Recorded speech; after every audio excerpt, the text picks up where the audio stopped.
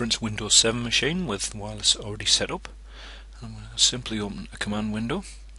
Now to see what profiles are set up on this machine, do a netsh wlan show profiles command.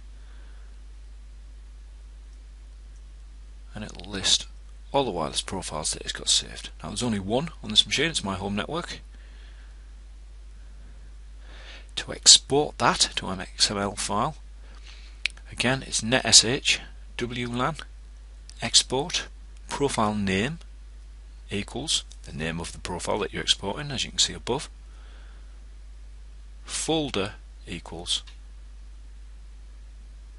and then the folder name that you want to export the XML file into.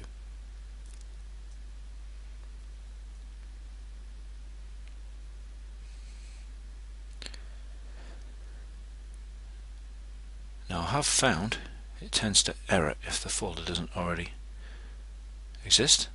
So I'm just going to create that folder manually on the root of my C drive. Just going to call it wireless. And now that that folder actually exists, I'll hit return and you'll see there it's exported successfully. So if I have a look in that folder, you can see there's my XML file. I don't have file extensions turned on, so you can't see there's an XML file you'll have to take my word for it.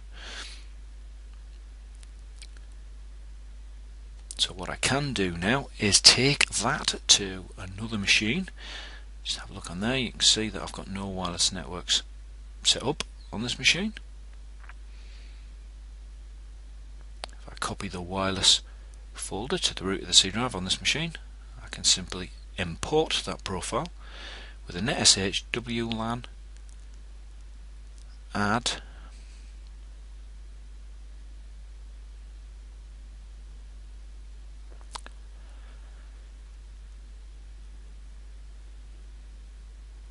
profile file name equals now I'm putting the path in inverted commas because there's some spaces involved. Don't forget it's .xml and as soon as I hit return you should see in my wireless networks it automatically populates with the wireless network pre-configured. That's just done. Thanks very much for watching. Don't forget to come and visit us www.petenetlive.com.